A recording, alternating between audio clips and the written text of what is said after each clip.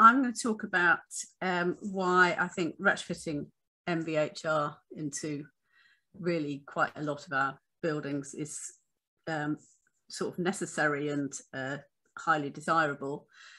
Um, and a kind of in view of really the twin problems that we're facing um, an indoor air quality crisis, which uh, has uh, been really brought to the fore with COVID, but um, I think it's been it's been a, long long time standing. I mean, these are just lung diseases, all of which are made worse by poor indoor air quality, and um, and a lot of diseases are probably caused by poor indoor air quality. And then there's heart disease as well, and cancer, and um, skin disease, and and as we now know, infections. So it's um, it's something that we've really not got right in this country up until now in our homes and as we're finding out with the COVID rates in schools at the moment, definitely not in our schools either. And this is something that um, Stephen Holgate, um, who works, who's worked with the Royal College of Physicians and the Royal College of Paediatricians, has done a couple of really good reports on the health impacts of poor indoor air quality on um, children and all of us, and also poor um, outdoor air quality, which is which is linked. But um, the children's one was looking focused particularly on on indoor, and he's really pretty angry about the injustice. And there was an interesting paper actually recently, which I haven't got on a slide from um, uh, Sani Dimitroulopoulou, who's on the, I think she's in the Tapas network, uh, who's written about all the many forces that um, make indoor air quality worse, um, where for people with disadvantage. We've also got a climate crisis, as we know, so we've got to retrofit our homes and we've got to um, insulate as much of the floors and walls and roofs and put in double glazing. And of course, it's often shorthand called leaky, uh, homes very leaky in the UK. So this starts to get people worried. if you make the homes all airtight, what's going to happen to the air inside? And then this, you so often see there's a tension between air quality and um, uh, energy efficiency. And oh no, if we stop up all the drafts, then you know the, buildings, people will suffocate, and you'll be living in a hermetically sealed plastic bag and stuff.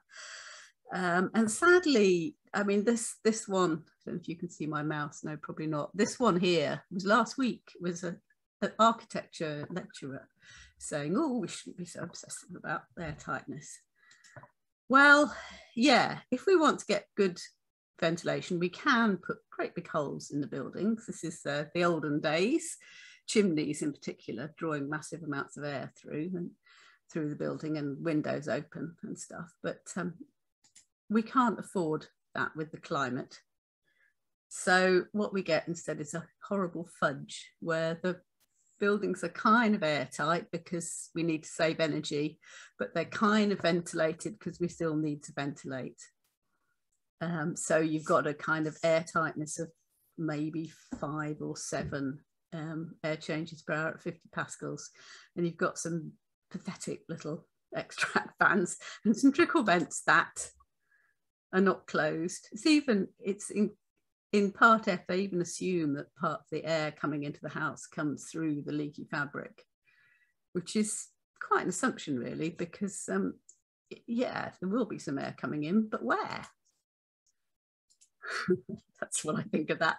So this is some um, research actually from New Zealand, but all it's showing is these houses are in order of air tightness from the leakiest to the most airtight. And then in the grey bands and the yellow bars are showing the um, amount of um, air exchange. And as you can see, there's no correlation at all. And even when you've got a leaky building with, um, uh, with high air exchange, this is some excellent research from a woman called Jessica Few at, at UCL, who might be interesting to, to uh, get on in her own right. Um, they had a very leaky house, 15 air changes. Well, sorry, cubic meters per square meter. I do beg your pardon. I'm not very, not very technical always. Um, so a leaky house, and it had not a bad air exchange rate overall, but she tested individual rooms by looking at um, carbon dioxide decay. And in the living room of the house, when they closed the living room door, obviously they didn't have the 0.5 or 0.4 air changes an hour you need for good indoor air quality, nothing like. And she took her smoke pen around the house and um, and the air was cold air was mostly coming in under the stairs in this case, although it's often um, where the pipes come in, in the back of the kitchen cupboards, or it might be the leaky back door. But it wasn't ventilating the living spaces, the leaky fabric at all. It was just ventilating the staircase. And of course, then you've got the, the purpose provided ventilation, the uh, trickle vents. Um, this is uh, 80 homes, uh, not particularly um, airtight, but with so perfectly um, standard trickle vent ventilation and intermittent extract. And as you can see, most of them hardly had any, less than 20%. I think overall about a third of the um, of the vents were open. So that was um, research published by the government. This is some older research, and this is um, uh, the three. Um, well, one of them is vents, and the other three are fans. And this is somebody who went into homes to again to measure the air quality, and they found the red bars are all fans that are turned off. You know, somebody climbed on a chair and pulled out the isolator because the fan was noisy, probably, or they were worried about bills or something. That's Ian Mawditt's research. Um, and if people want to want links to any of this research afterwards, just you know, ask in the chat or um, ask Helen to ask me. Okay, so uh, leaky buildings don't give you the fresh air you need, so we might as well make them airtight, mightn't we? That grey patch is the air is the energy we'll save going from leaky 10 air changes, which is the sort of legal um, leakiestness um, and it disappears pretty much if you go to passive house air tightness. So let's not be frightened of air tightness. Uh, this graph, the light green, also shows you the difference between um, not having MVHR, so that light green in the Part L 2025 is still permissible for the future, marvellous. But if we went to uh, airtight and MVHR, um, we get those tiny little green stripes of energy lost, heat energy lost. So basically, if we're going to meet our climate goals, we need to make buildings airtight and we need ventilation with heat recovery. And even the regs recognise that if we go as airtight as we need to for the climate, we actually have to put in whole house ventilation. I'm not going to talk about whole house extracting ventilation, mainly because I don't really know much about it, but you could get Peter Rickaby and Erico to come and talk about that. Um, okay, so whole house ventilation is a lot better in my view. I've got it myself. Um, it's quiet because it's a great, it's a big purpose built high quality unit in an sound insulated box and all the air goes in and out of ducts. Um, so you can't actually hear it in the rooms because it's a long way from the fan and because you can't hear it you're not going to turn it off. Heat recovery saves energy. The air supply is nice and warm so you don't think ooh. Um, and also when it's really really hot outside your heat recovery can preserve the cool inside the house which is actually rather wonderful um, especially when you're working from home and it's boiling. Um, you can have it and you don't we don't have air conditioning but we have you know, we have the overnight cool is kept in by the MVHR. So that's nice too. And you can leave the windows shut. If you live near a busy road or um, you hate your neighbours because they're always smoking on the front doorstep, you can keep all the windows closed and you'll still get all the fresh air you need. And with MVHR, it comes in through filters as well. So it doesn't, filters won't cut out all the air pollution because obviously some of it is um, a gas like um, nitrogen dioxide, but uh, particulates get reduced by the filters. And you can also put the intake like around the back or somewhere where the, um, if you're doing a, a larger building or flats or something, you know, you might have a courtyard and you might want to draw the air from there as long as people don't have barbecues down there. Anyway, so does it work in practice? Yes, seems to be. I mean, these are this is about um, eight years ago, I think these buildings were built.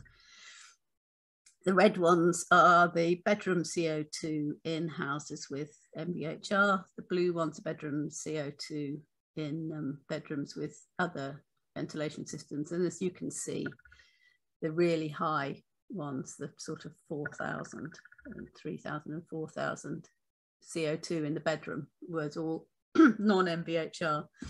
Uh, and the MVHRs are all clustered around kind of a thousand mark, which is more what you'd want in a bedroom really. In schools, yeah, you can get the teachers to open the windows, but we've been telling them for about a year, well, Kath has certainly, and um, well, to be fair, this was before COVID. It might be a bit better now, but Alan will tell us whether it really is. This is MVHR in schools versus non-MVHR in schools. It's a bit of a complicated slide to read, but the grey uh, lines are an old 1970s school. The green lines are a naturally ventilated but quite modern school, but they made a lot of effort with the ventilation. And then the orange and blue lines are, um, they're both passive house schools, so they've both got MVHR. Now, why they're all on top of each other is they're all quite near each other. So they're all having the same kind of weather.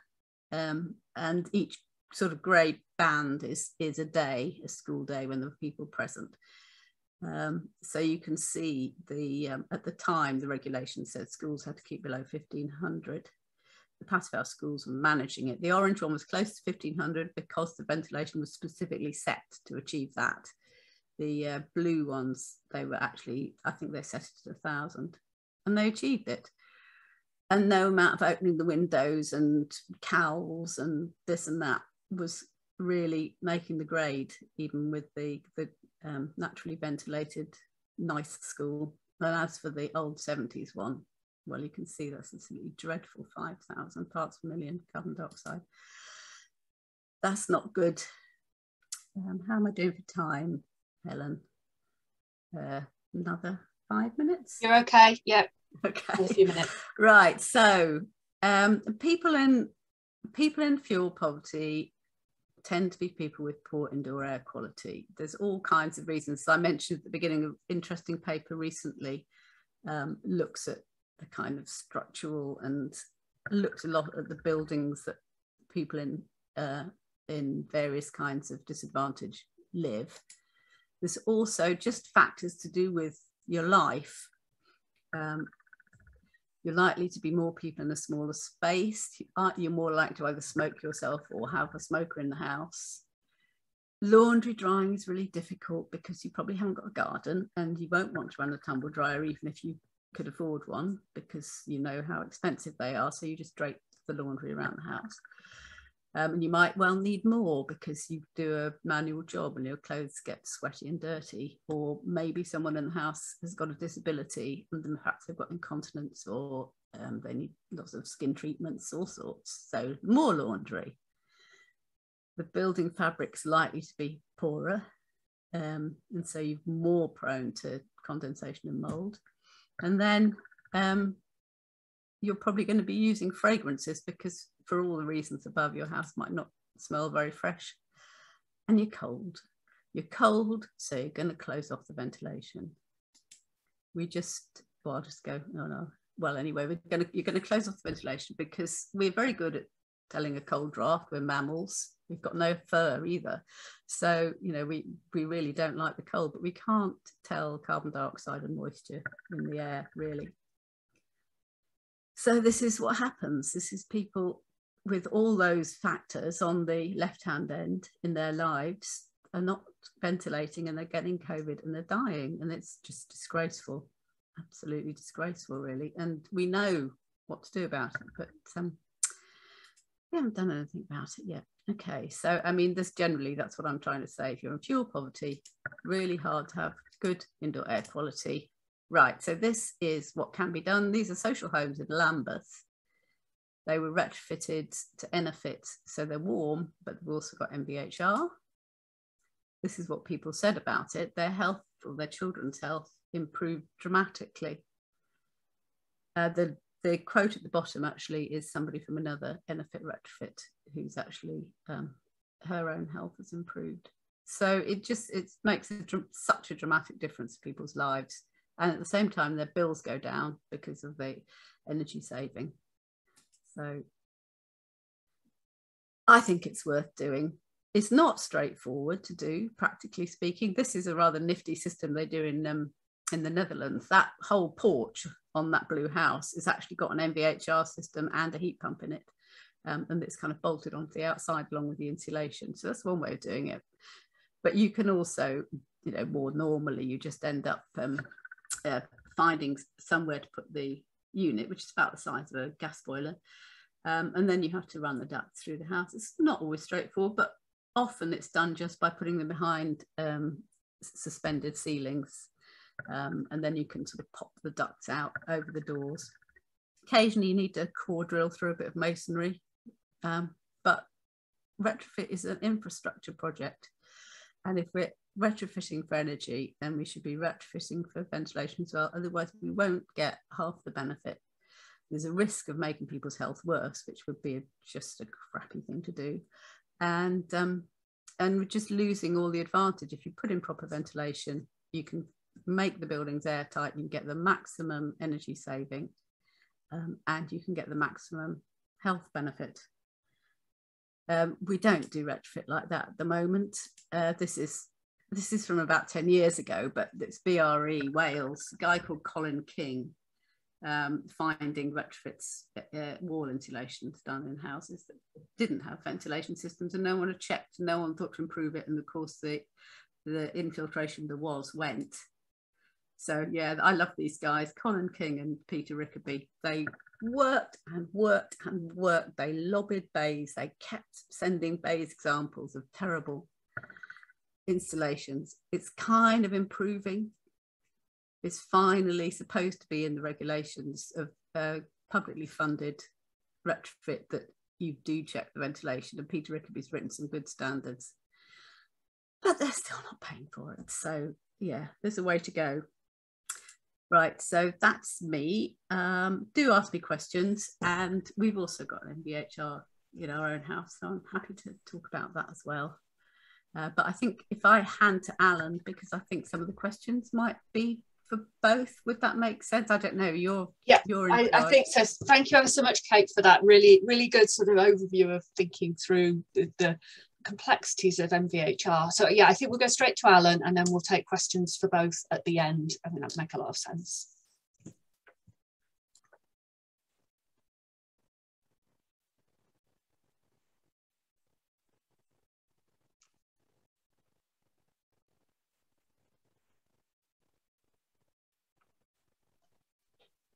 Okay, can you see my screen? Is that working? I've got something on it, haven't I?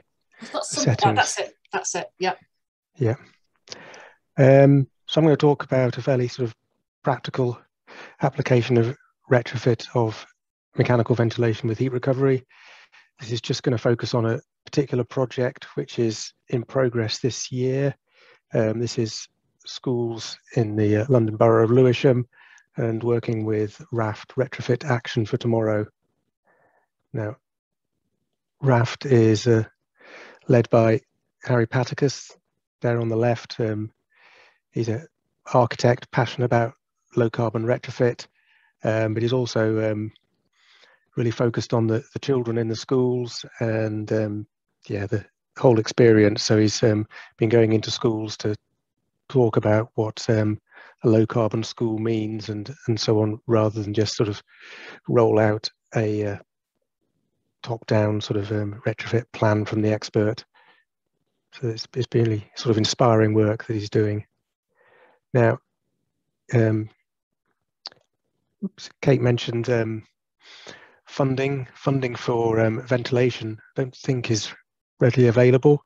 Um, so RAFT has been looking at sort of whole school um, retrofit energy carbon saving packages for Salix funding, which has got sort of criterion on um, how many pounds you have to spend per ton of carbon dioxide saved. So we've worked, um, ventilation doesn't seem to save much energy despite the heat recovery aspect of it. When we've done detailed energy audits of the buildings, what you actually find is that they aren't being ventilated as well as specified or as expected. So actually there's not that much heat loss through ventilation. The ventilation is just really bad. Um, and um, so we've got a combination of insulating the schools, making them more airtight and including MVHR heat recovery ventilation.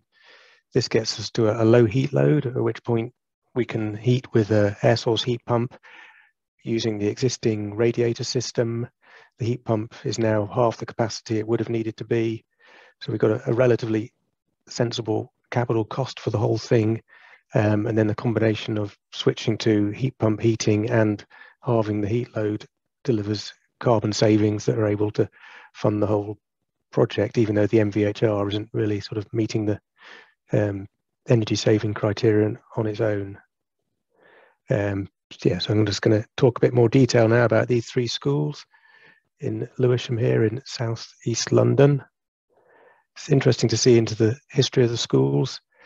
The one at the top there is Dalmain School, built in 1927, more or less as a whole, around two courtyards, um, been modified since then, which I'll talk about a bit more later. Dalmain School is the oldest one, but I think um, we're looking here in the picture at a, the main block built around 1928, and we've actually looked at retrofit just to the 1970s block on the left. And then the last one here is Myatt Garden, built in 1971, so that's 50 years old today. And it um, reminds me of the school I went to as well. Classic 70s. Now, early 20th century schools, when they started to be um, sort of purpose-built buildings, had a lot of thought put into the environmental aspects of the design. Um, this is not one of our schools here, but it's a good drawing that um, illustrates what we've got. Um, on the south here, very large windows for lots of daylight. Um, it's quite likely that the only artificial light would have been gas, so you really want to use daylight here. The north side has got clerestory windows at high level. And then if you can see on the, know if you can make out on the section here, there's a covered veranda to the north. That's here on the plan. So this is open circulation area. Um, so classrooms have got doors straight to outside. They've got windows north and south, and um, they're pretty much guaranteed to be able to have good levels of ventilation. Um, some schools at this in the 20s were actually going to open air schools as well. There was, I think, there must have been a um, kickback from a global pandemic around the beginning of the 20th century, and definitely a, a keen in, interest in, in ventilation. I'll go into look a bit more at Downderry first. So this is the uh, um, original plan as we've got it when it was built with um, boys one side, girls the other. It's all changed now, but these two courtyards still exist. However, this is this is a veranda, open veranda. So, um, and you can see here this picture I found from the 1950s of this school shows um, sort of classic school windows a lot of windows open, a lot of these um, center pivot windows. Um, I know they're quite hard to make airtight, but they're very effective at ventilation as it comes in and out through the same space. Um, and this is a, a, view of the south side, still lots of glazing. You can see here, just check all the windows open as it should be. Um, and now this is what it looks like at the moment. We've got a veranda is fully enclosed with PVC double glazing. Um, this doesn't open except for the odd door. Um, the clerestory windows also all replaced with sealed units. Um, this is the view from the inside. You can see that would have been doors and windows. All these would have been open to outside when it was built.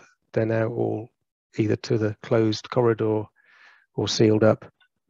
Now, ironically, they've replaced that covered veranda on the south with this um, plastic thing here, which is also um, reported as hampering the ventilation, particularly in summer. It's a bit of a hot house. We've now got new PVC windows. These are, are top hung, don't open so far. Um, so yeah, so we'll see how it's going.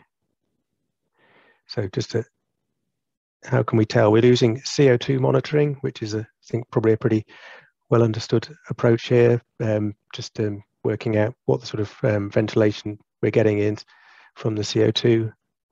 Um, ideally, in schools we'd be aiming for below a thousand parts per million. Now with with COVID, um, ideally below 800 parts per million. Um, and given this is relative to an outside of 400, this is probably about a 50% increase in ventilation rate over the standard we've been generally working to of a, a thousand parts per million.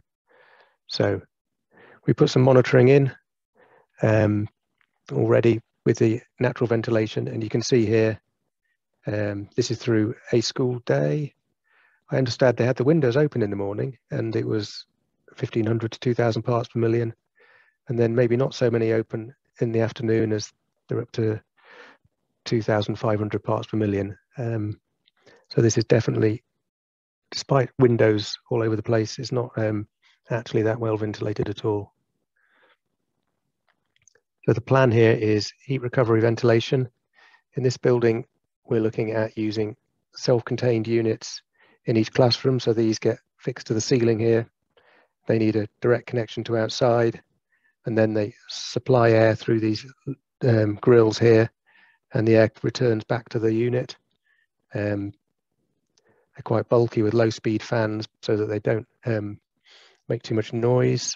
And inside is the heat recovery unit so they you know, supply air at about with about um, only 20% heat loss and that's the the plan. I mean, this is the installation today is, is in progress at the moment. Back when we first looked at the timetable for these seminars, it looked like it would be finished by half term, but there's um, been a lot of supply issues and uh, contractors having something else better to do, it seems, a lot of the time. Um, yeah, so this looked like a nice, easy drop-in classroom ventilation will fit all classrooms solution. Um, this illustrates some of the problems we've had one of the classrooms, we had a nice route for the outside ducts through here, a clerestory window, which no longer really worked glare-wise with the teaching arrangement. But then putting the unit on the ceiling, we'd get the air blown and it would hit this beam and that would direct cold air down, or drafts rather, down to the uh, children below. So this is needing to be modified with um, a slightly sort of dropped ceiling there to make the beam disappear into the ceiling Now this, but other than that, the approach here seems to be quite good. However, I'll just talk about some other the other two schools where in neither of those cases we could actually use the same um, ventilation approach. We've got two different ventilation approaches for the two schools. So this is Dalmain School. Um, this is a view of the 1970s block. This is a masonry cavity um, construction. Um, and um, the general plan also is to carry out cavity wall insulation. And but once the scaffolding went up, um, we found that actually, despite um, condition survey saying the roof was fine, no one had actually been to look at it, and it was leaking into the cavity. So there's going to be a slightly more complicated retrofit involving re-roofing, but that will mean insulating the roof as well. Um, now you can see there there's new PVC windows, quite good quality, low U value actually, um, and some spandrel panels have been introduced to reduce the amount of summer overheating as well. Inside, these first floor classrooms have got um, sloping ceilings, and this one's got a very low ceiling height at the external perimeter. So this turned out to not be um, suitable for the um, ceiling mounted one solution fits all approach. So we've gone for a, in this one a different approach. First of all, we've looked at the monitoring to see how things are going. Um, again, not too well. Um, one of the classrooms there, the middle classroom, has regularly been up to 5,000 parts per million. Um, I'm afraid that's with the windows open as well. The staff are doing what they're supposed to. Um, but we've got here single-sided ventilation, with windows that don't open very far. Um, now, just had a look at the estimate when the classes are open. The uh, central one can achieve about half an air change per hour on window, and the side ones have got a bit of cross vent and a bit more opening, and they can get over one air change per hour. Also, interestingly, we um, decided to see if we could estimate what the um, air tightness was, looking at decay curves.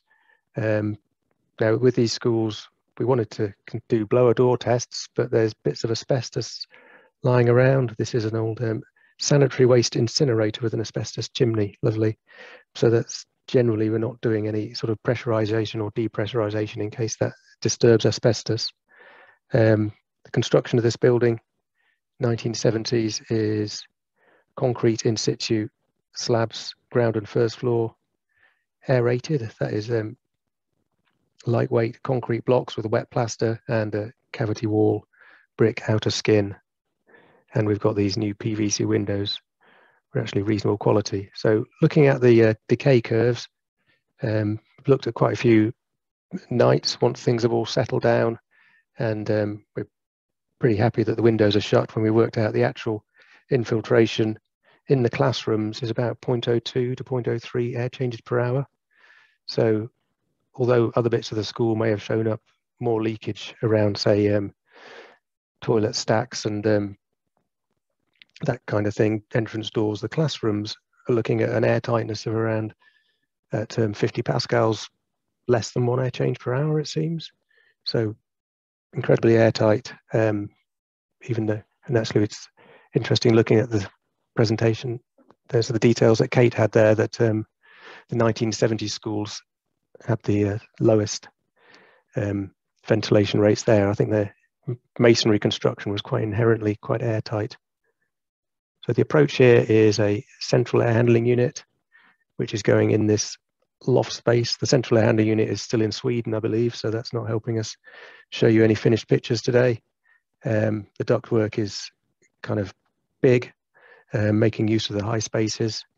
Um, there is actually a redundant existing ventilation system, and you can see here that was the grill they did have about 100 mil square. I don't know if anyone's done any sums on how much ventilation you need for a, a classroom of 30 kids, kids, but that wasn't really up to the job. Um, yeah, so this is this is one approach, and it kind of replicates what we've seen in in new passive house schools quite often. Um, but in a lot of cases, these size ducts, which are three or four hundred millimeters diameter, just are not going to fit in the um, in the space available. So an example of that is the final school I'm going to talk about, which is Myatt Garden. Um, a few more pictures here. So this is a two-story block we're working on. Again, it's got an in-situ concrete slab um, for the first floor, lovely thermal bridge there. There's a sort of ring beam all the way around. Um, downstairs, there's a sort of good collection of downstand beams. They tend to run the full length of this block with various cross walls as well. And underneath that is 2.2 meters, so that's um, really quite low. And then there's the exposed concrete soffit of the floor slab above that. On the first floor, we've got this um, roof void. This is a, I think, a conservation area or listed feature. So this has recently been replaced um, from the original lovely asbestos in um, insulated steel panels. And as they form the insulation line, they are also brought to form the airtightness line, but actually it turns out to be reasonably well daylit up there. You can see daylight at the end. So at the moment, the first floor had been kind of ventilated accidentally through the roof space, but um, one of the aims of the energy retrofit is to seal that up. But on the first floor, there is some room in this um, rather wonky roof space to get some ductwork. However, the downstairs with these downstairs beams has given us a lot of um, going around in circles trying to find any solution that will actually work. Um, so here's a, here's a plan of the end of the end of the building. Also, you can see these classrooms are all weird shapes. There's no corridors. There's no sort of anywhere to put services.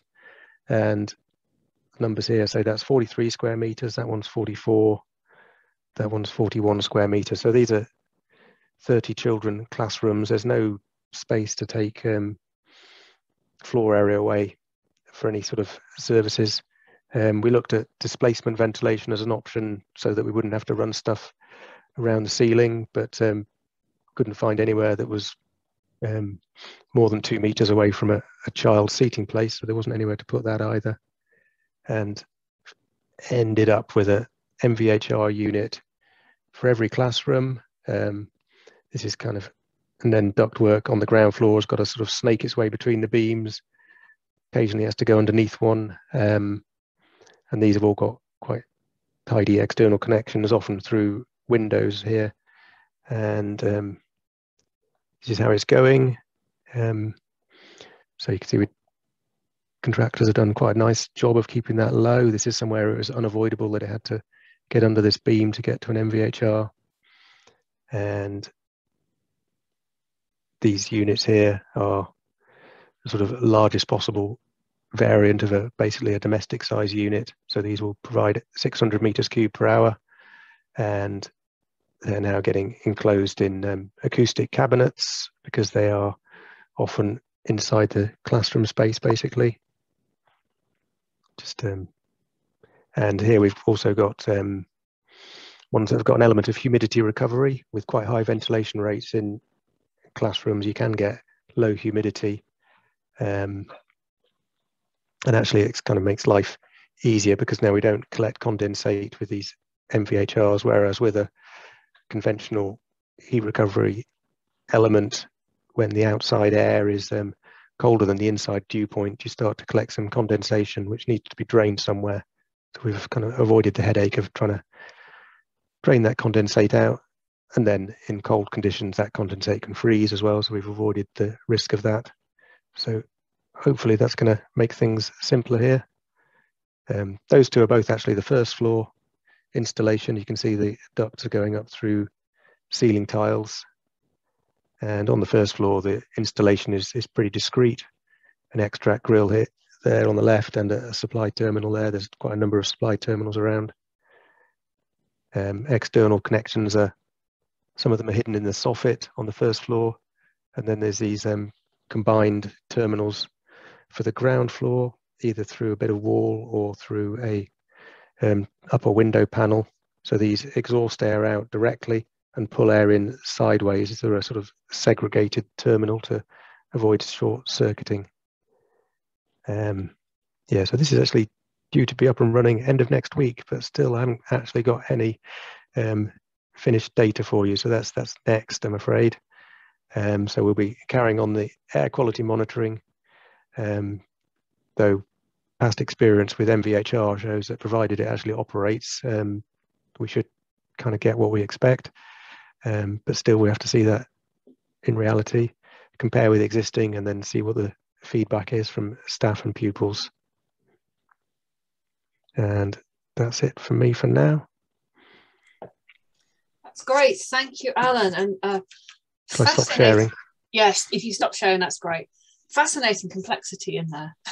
it's, um, and I actually I hope you will come back in a year's time and tell us the results of some of these. It would be great to see.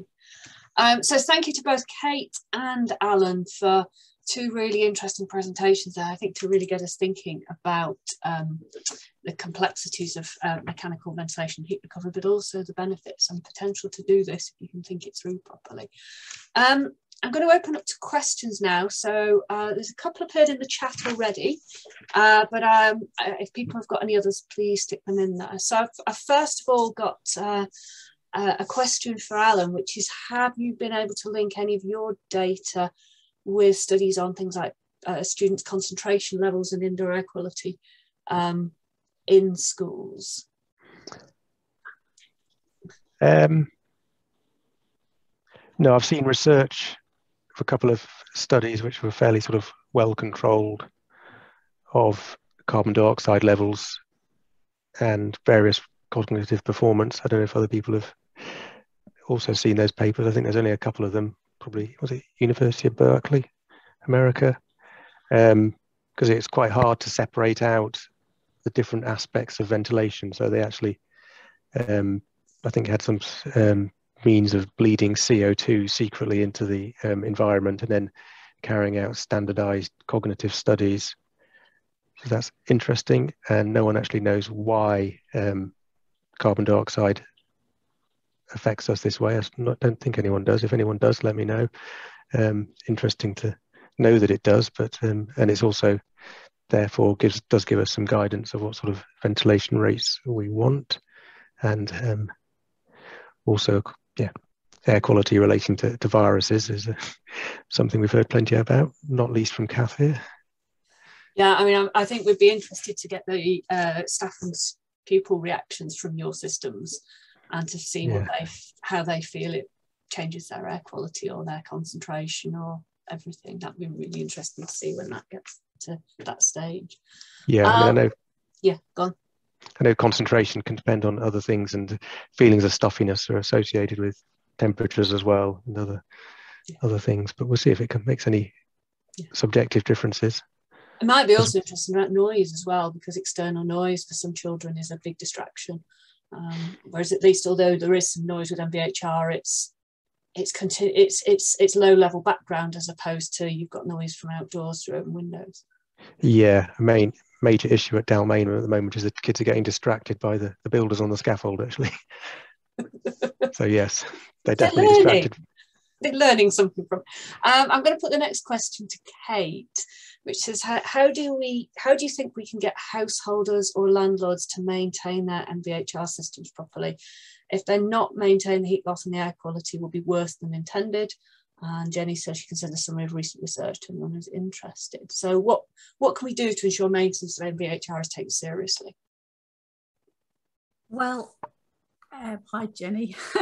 um, I think basically we have to recognise that it's as important to health as um, as properly maintained gas systems and anything else, and that an MVHR should have a service contract the same way your gas boiler does. I mean, ultimately, for an individual, individual householder, it's going to be the individual householder's responsibility, but you know they should it should come with that advice and that facility. Um, and for landlords, um, I mean, one of the most useful things that landlords can do, if you remember that blue house I showed you, it had the MVHR unit actually outside the house.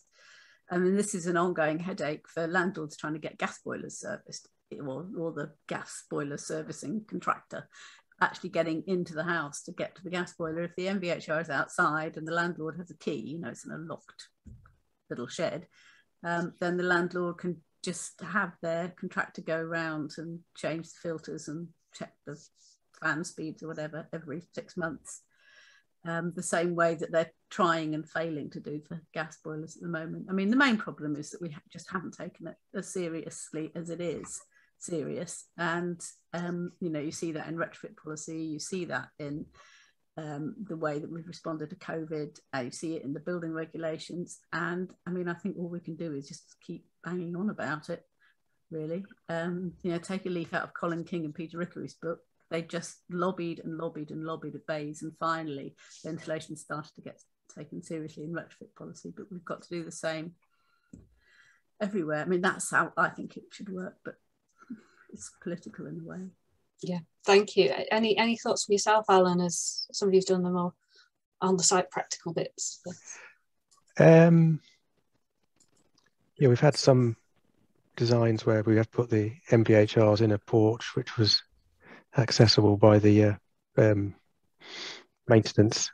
staff um, and been looking at designs for flats which are the really hard one to do because you're trying to um, keep the MVHR accessible from a, a, circulation space, but also in the fire compartment of the flat to avoid you know, risk of breaking fire compartments. And um, so that's kind of things in design at the moment yet to be built.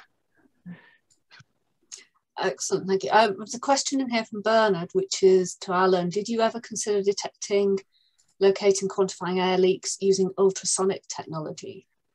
for example, in the case where it's not an option to do um, pressure uh, blower door tests because of asbestos?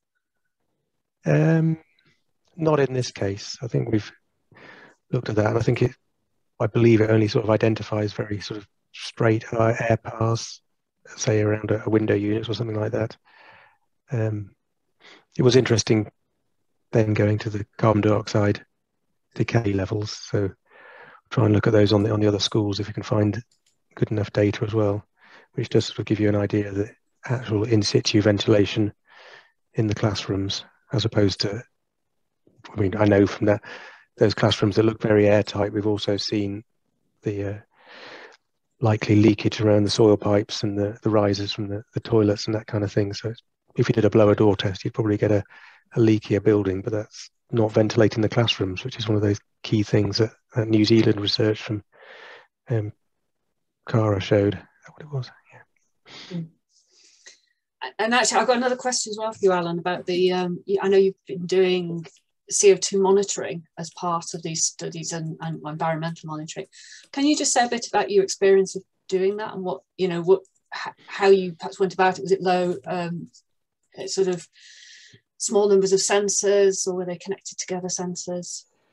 Okay, yeah, the system here is doing a combination of air quality monitoring and um, moisture and temperature monitoring. So it's, it's using a OmniSense system. Um, so there's um, a lot of building fabric work as well, um, often having to make good things that have been falling apart for the last 50 years.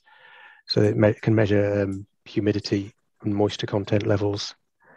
This is a wireless system, and then there's a, a hub that is having to be connected back into the internet. That means we can get access to the uh, um, data remotely. Yeah, that's that. Yeah, I think that's that always helps. I think if you've got that remote access into mm. the data. Um, um, I know we've we've found that we've got lots of loggers which are not remote access, and that's a bit more of a pain. it's obviously more expensive. Yes, I've got some remote, some USB data loggers in a number of flats, and um, particularly with COVID, we've been only able to see the data about every year. Um, whereas this is this is great. This is the AECB. I think um, got started up a connection with the OmniSense system. It's interesting for sort of looking at internal insulation and things like that. If we get onto that with the, these schools, and that's where Harry's used it on um, other residential projects. So, I mean, I've got a, perhaps a question to both of you as well, which is the um, obviously there's been a lot of focus on building energy net zero recently. Heat pumps have been uh, are a, a big thing. Um, what are your sort of thoughts on um, where MVHR should fit into this picture? Uh, and you know, actually, should we be trying to do something much more holistic than just jumping into yet another single technology to to to do something? I don't know whether Kate, you want to go first or? Yeah, um, I think, I mean, in a way, I think the the analysis of what's needed needs to be holistic, and it needs to be occupant centered. I think we've we've looked at carbon separately from we've looked at people in the buildings, and that's just wrong. I mean, you know, we could all just go and live in the, live in a tent. That'd be very low carbon, but it wouldn't be very good and wouldn't be very popular. So I think we did need to put the person in the centre, the occupants in the centre, make sure they're warm and make sure that and they affordably warm and make sure that they've got good air quality and that they're not going to be made uncomfortable by their ventilation. And then you design around the people the way the best way you can in the most inexpensive and easily practically fittable and lowest energy.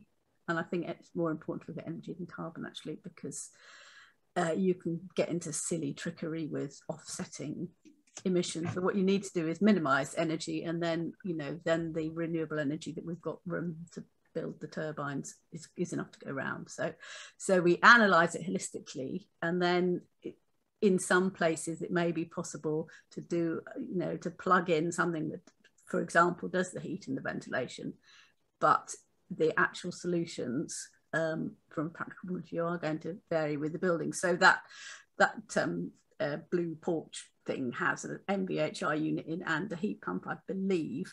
Um, I could be wrong because it's in the Netherlands. I don't know in detail, but um, sometimes you can actually combine the two. But in a larger building, you, you just it just makes more sense to separate them but what has to be holistic is the is the analysis and the policy and the policy still isn't holistic. They're still seen separately part f and part l you know basically pulling in opposite directions because part f really doesn't understand how a how to ventilate properly and b how to save energy. So it's that's where the that's where the all-round look needs to come. Did you want to say anything alan? Um yeah, I suppose on the particular of um, retrofitting heat pumps, there's a technical um, hitch or aspect in that um, heat pumps work efficiently with um, low heat emitter temperatures. Um, most of our buildings have already got radiator systems designed for higher temperatures from gas boilers. Um, it's really neat if you can just reduce your peak heat load so that you don't actually need such um, high temperature emitters and then can just um, plug a heat pump into an existing emitter system.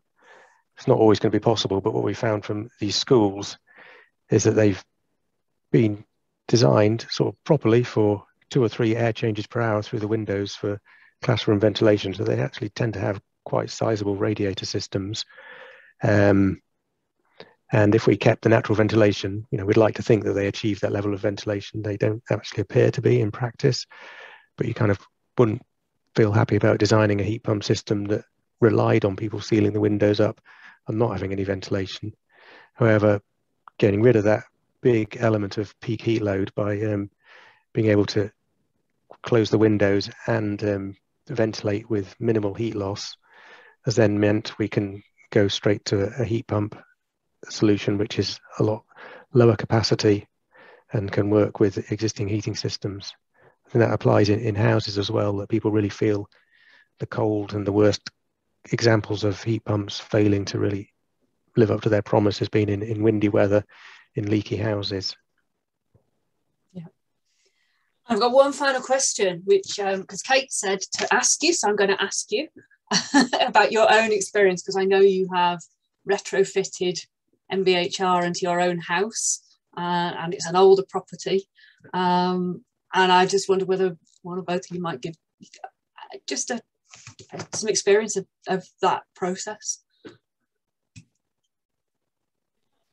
I don't know. Um, there's two bits, of, isn't there? There's the uh, actually trying to do it, um, and then there's the experience of living with it. Um, yeah. Um, Overall beneficial? Overall beneficial, yes. Um, yeah, I wouldn't um, move into another house and not put MVHR in for sure. Um, yeah, seems very strange idea, um, but it's still. Yeah, we have got um, exposed ducts running up the the landing at the moment because um, there's there was nowhere else to put them. We could sort of put some plasterboard around them. I guess it's all a bit um, fun and it involved drilling some very holes through some very thick stone walls, so hiring diamond core cutters and things. Um, it's not as um, cost effective or cheap as putting it, designing it into a new building. That's for, for sure. So it took um, two of us, I don't know, three or four days probably to to get everything in. But we wouldn't be without it. I mean, it's just transformed the house really. That with, I mean, we insulated it and replaced the replaced the windows kind of at the same time. But we, in fact, we insulated and replaced windows before we uh, uh, connected the MVHR, and we did have some mold and damp issues, just like in those pictures. Not as bad as those, but you know, it was noticeable. And we thought, oops, yeah, you know, this house was we had rattly old sash windows and doors with holes in where the rats had eaten the bottom of the door, and it was really quite a state. And so we smartened it up and uh, and then we really needed the ventilation. And what's so great about it really is that you can't hear it. You can shut all the windows um, and um, we know when the neighbors have a bonfire or whatever you can even turn it off. You can close the windows turn off the ventilation for an hour and not have to breathe in the neighbors smoke. Um, and uh, and just knowing that we've got fresh air coming into all the rooms and you know with covid it's quite a big house and with the two of us working from home we're not worried but we've got adult children. Of course they come home having been to nightclubs and gigs and goodness knows what they're bringing with them. So you know we can turn off the ventilation when the kids come to visit. And uh, you know it's just it's just fantastic to have low humidity in what was otherwise a damp house.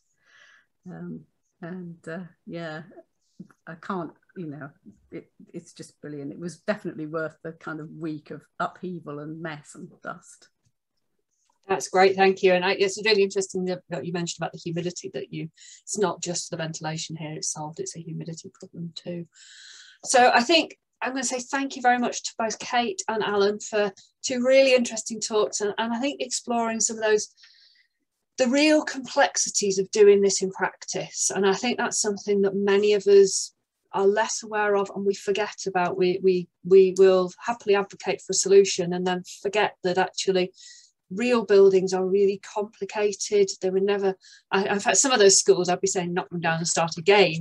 but, um, you know, that's not going to happen. We have to live with what we've got in many cases. And it's great to see that the way you're thinking through those, the, the, how to make something work, but how you can't just have a simple one size fits all solution.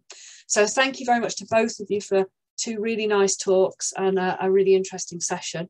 Um, just to say to everybody else, we um, our next seminar will be on the 16th of November. Uh, we're expecting to have Justine Raoult from Aether Limited, who's going to talk about, uh, uh, she, she's uh, working around international missions associated with inventory projects uh, and uh, um, thinking about emissions um, inventories. So um, we'll be advertising that one fairly shortly.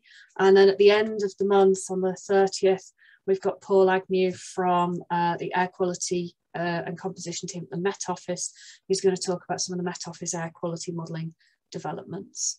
Um, so upcoming seminars to look forward to. Um, so thank you everybody for, for coming today. Thank you again to Alan and Kate for uh, the talks and hope to see you again at uh, the next one of our seminars.